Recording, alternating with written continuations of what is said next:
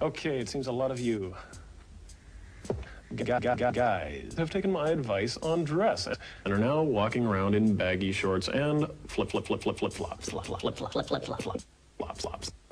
Great. If you see me, give me a wave. I love to see style. I also enjoy a good laugh. But now you're writing in and asking me the big one, the advice to beat all advice. How to walk out on the street and look a real man. Okay, you want to look macho, right? Here's how you do it. First, it's how you move. Try to get that all important shoulder twitch. Giving that nice subtle hint of the hairy back just tickling away there under the shirt is essential for the macho man, but not too twitchy, or your cigarette packet will fall out of the pocket in your sleeve. Now, where to work? I'm afraid macho men do not work in public libraries. Sorry, all you He-Man bookworms. So, if you have to, at least stamp the books very hard. And if possible, carry them around in a brick hod. Lesson number two.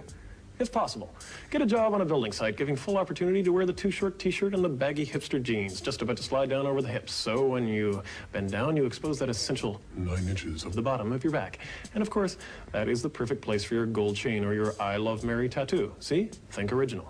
And working out of doors does allow you to address passing women with the macho conversation opener. And what?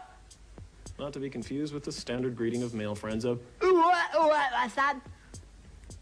Tim. Don't get frightened. I'm only telling them about it. Wait! Wait! Jeez.